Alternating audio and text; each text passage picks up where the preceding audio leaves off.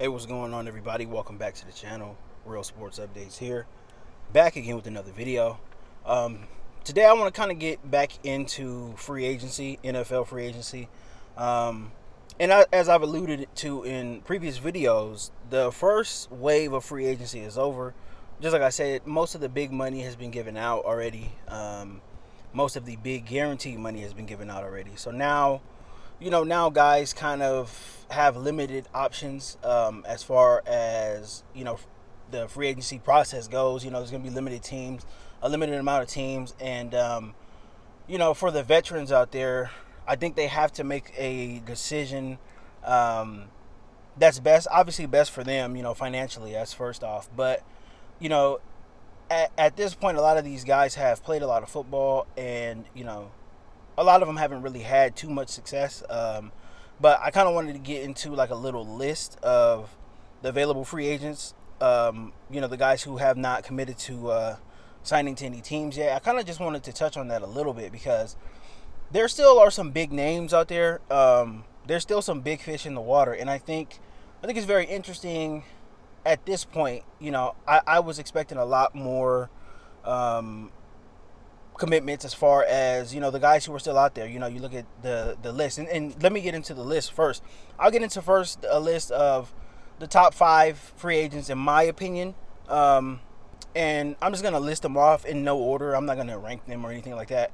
Uh, just the top five in my opinion. And you know, and people might agree, disagree, whatever. But it's just just in my opinion, the guys who I thought would be signed already, but are not. You know, so that's why I, I ranked them um, in the top five. So number one, obviously, is Tyrann Mathieu.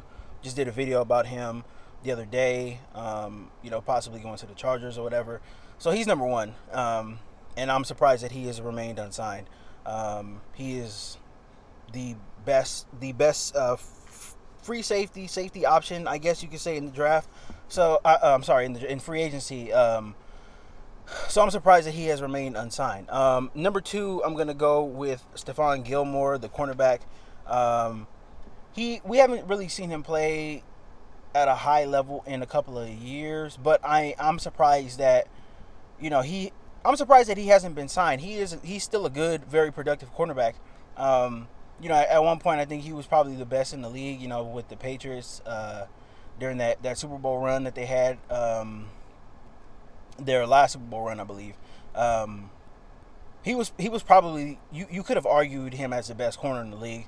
Um, obviously, uh, J.C. Jackson was on the same team, and he's emerged um, probably as the best cornerback right now. There's still Jalen Ramsey out there, but uh, Stephon Gilmore, and he's still pretty young too. So, um, you know, I I am really surprised that he has not you know been signed. You know, I, I don't know if it's with him, I think it might be a contract thing. I think he might be looking for more money than people were willing to offer him. But you know, regardless, I'm, I'm still pretty surprised that he hasn't been signed. So he's he's number two on my list. Um, again, I'm I'm not ranking these guys, but I'm just I'm just going down just the you know the top five. Um, so number three, J.C. Tretter, the uh, center, former center for the uh, Cleveland Browns. Um, one of the best offensive linemen that are still still out there. Um, you know, he was a part of a Cleveland Browns uh, offensive line group that was top five in the league, you know, for the past couple of seasons. Um, they really, really, really were effective in the run game. Um, they were pretty good in the passing game as well, too, but their specialty was run blocking. Um, they were absolutely fantastic. Nick Chubb, Kareem Hunt, both those guys, you know, having really big seasons um, in the backfield. Um, D'Ernest Johnson as well too. You know, he's a, the third running back when when those guys were out or had COVID and stuff like that. So you know, he was a part of that group. You know, he's the center, so he's the anchor. Um, you know, making line calls and all that stuff. So he, I'm surprised he has, you know, hasn't committed to a team yet. Again, it might be a money thing as well with him too, but he he really is a guy who I think you know if you bring him in, um, if you're thinking about drafting, you know, rookie offensive lineman and you bring him in, you know, now you have, you know, solidified your line. You know, you can have a, a, a worst to first type of thing, you know, going on. If you if you bring J.C. Tretter in, you know, he's he's been really really good. Um, I thought the Bengals would be all over him, you know, especially because he's in the division, but you know, it just hasn't really worked out. Um, I guess for them for whatever reason. But um, I do expect him to be signed here pretty soon. Uh, you can never ever have too many good offensive linemen. Um, it doesn't matter what position they play. Um, you always need offensive line. Always, always, always.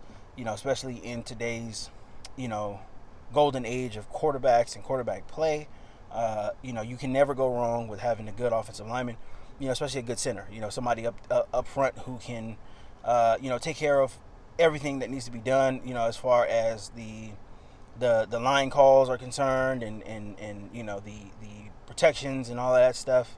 You can never ever ever you know undervalue a good center in the NFL. So, um, but yeah, I am surprised that he is unsigned. So he's number three.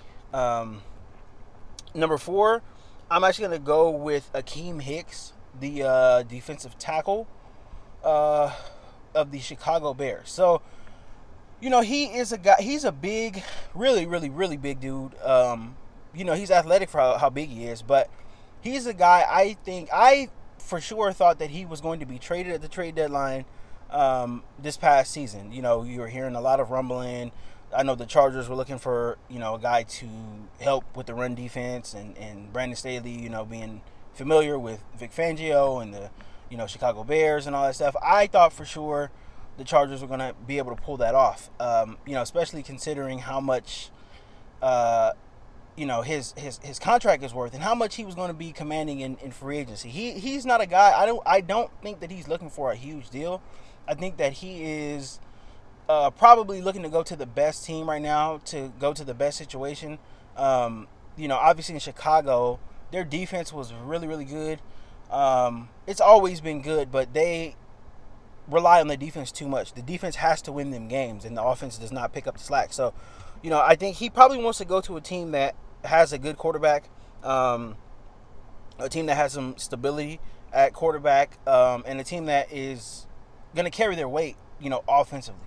Um, you know, a lot of the, the, the Bears defenders, you know, are leaving, and, and I don't blame them, man, because they, they, when you watch Bears games last year, and – I hated watching Bears games, but I, you know, if if it was on, it, you know, I, I would watch it. But it's the defense does so much. They're on the field for so damn long, and you know, when your defense is on the field for you know, the game is only what 60 minutes long. If your defense is on the field for more than 30 minutes, more than half the game, I mean, damn, like it's only so much that they can do. You know, these guys are getting tired. Um, you know, and and they are being relied on to win games. And you know, it, it is, you know, you, you can have your defense go out there and get a stop to win you games. You can go out there and, you know, have your defense, uh, you know, give up field goals and all that stuff. But your defense cannot be the primary reason that you're winning games uh, in this era of the NFL. Your defense has to be complementary to your offense. Your offense has to do enough. You have to be able to control the clock. You have to be able to convert on third down you know, you you have to be able to stretch the field and do all these things offensively, and your defense has to come in and be, you know, uh, kind of a you know an accessory to it. You know, you see the past Super Bowl winners, you know, the last three years, their defenses have been they haven't been great, but they've been good enough to win, you know, playoff games and Super Bowls. And I think the the Chicago Bears, their formula is completely messed up. Um, they are completely archaic. Um, they're still not over the 85 Bears, and they keep every regime change they have. They keep trying to recreate the 85 Bears, and they don't give a shit about their offense. And you know, you have to watch Trubisky struggle, and then last year Justin Fields struggle, and they're just doing like, not, it, it, none of it makes any sense. Like the Bears have to get over, and I've said this before in other videos. The Bears have to get over it. The 85 Bears are not coming back. Defenses like that are not coming back right now. The quarterbacks are too good offensive minds, offensive coaches in this league are too good. The Bears need to come into the modern era of the NFL and play like everybody else does. But they don't do that, and now they're losing all of their best, you know, defenders. They are obviously lost Khalil Mack. You know, there's a, a, a couple other guys that, lo- that that they've lost as well off the defense. You know, you don't expect Akiem Hicks to be back, so hey, you know, it, it it is what it is. But the Bears got to come along with it, man. I, I, I, like I said, I hate watching their games. I love football. If it's on, I watch it. But I'm not going to intentionally tune in, uh, you know, to a game. It's not a Bears game. It's not an appointment viewing for me because they suck so bad, and I feel like I'm watching football in 1994 or something like that. So it, it's it's bad. But Akiem Hicks, very good player, um, and I'm surprised that he's not signed yet. I don't think he wants a lot, but again, he might just be taking his time just to see what his best options are. Um, and I'm sure he wants to be a part of a winning team, a winning culture as well, too. So he's number four. And so number five, uh, last but not least, and obviously, like I said, guys, I'm not I'm not doing this as rankings. Uh, this is not a ranking. I'm I'm just going down the list of who I think the top five free agents are. Um, so number five, I'm gonna go ahead and say Jarvis Landry, uh, wide receiver, Cleveland Browns. Now, there's been conflicting reports about Jarvis Landry and why he hasn't signed yet. You know, I've seen something where he uh, was supposedly wanted a contract of like twenty million dollars a year or something like that. He wanted to be one of the highest paid receivers in the NFL. Um, and I think that's a pipe dream, but I, you know I don't know how true that is. It could be true, maybe, maybe not, but that's definitely a pipe dream for Jarvis Landry. Um, I know that he, I think he fired his agent and he's got new representation and stuff too. So again, I think you know he's another guy. He, he's probably weighing his options. Um, I think the best option for him right now, at this point, is probably going back to Cleveland uh, with the acquisition of Deshaun Watson. Um, I think him and Deshaun Watson would really, really mesh really well. Um, especially considering that Jarvis is is a possession receiver. He's a guy who can get open. He can work the slot. Um, you know, he can work the middle of the field, and you know he would be he, he would probably he would probably be Deshaun Watson's number one target. Um, once you know they, they got together and once they once they've uh, you know played a few games and developed some chemistry, he would probably be uh, his number one target. But you know the contract demands. You know I I think I I I think that he knows that he's not worth twenty million dollars at this point in his career.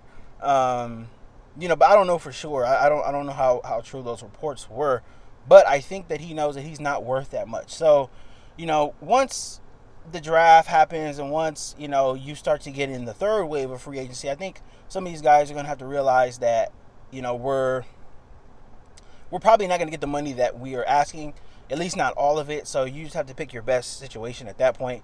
And that's just like just like I said the other day. That's pretty much what teams are going to have to uh, guys are going to have to do now. Um, the big money is gone. You know, take one year deals, uh, take the one year prove it deals. Um, you know, get get get all your money guaranteed for one year.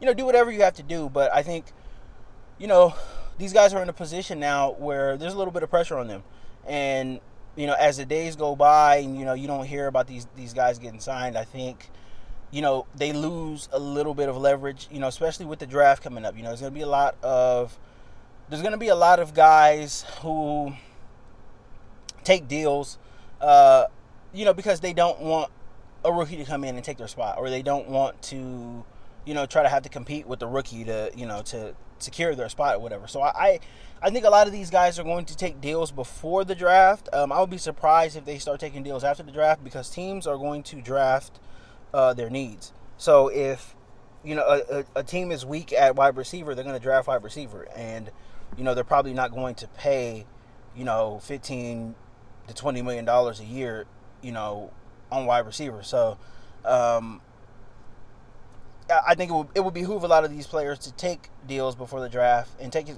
know try to get as much money as you can, obviously, but you know still be cognizant that you know you do need to your deals do need to be team friendly. So you know at this point, you know that's I, I think that's all um, some of these free agents can do. Um, honorable mention is Odell Beckham. I think Odell, I think Odell would have made a lot of money uh, if he didn't get hurt in the Super Bowl, um, and I think he would have been signed already if he did not get hurt in the Super Bowl. Um, you know, he's already had that ACL injury um, in the other leg, and uh, you know, I think he he tore it in the in, in the um, I believe it was the right one this time. I think it was left the left one last time. I'm not sure, but I know he you know this is his second ACL injury, so obviously the injury concerns are there. I don't expect him to get any long term deals, um, but I do expect Odell to probably get a one or two year deal.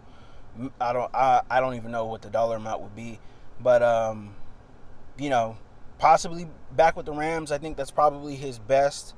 Um, you know, his his best option right now is probably to stay with the Rams. Um, you know, he he's gonna have to go to a team that really doesn't need him right now. and you know he can ramp up his his uh, recovery and stuff as the season goes along, and then by the time the playoffs come, you know you can add Odell to to the mix.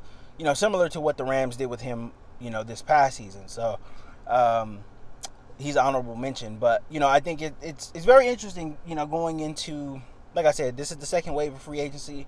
Um, I think the third wave is going to be here after the draft next month, and uh, it's going to be interesting to see what teams, um, you know, take chances on the, some of the players that I mentioned, and uh, you know, some of the other guys that are out there too. There's a long list of of uh, names, um, pretty big names as well too. You know, I, I can't remember a year where there's been this many big names um, unsigned, you know, at this point right now.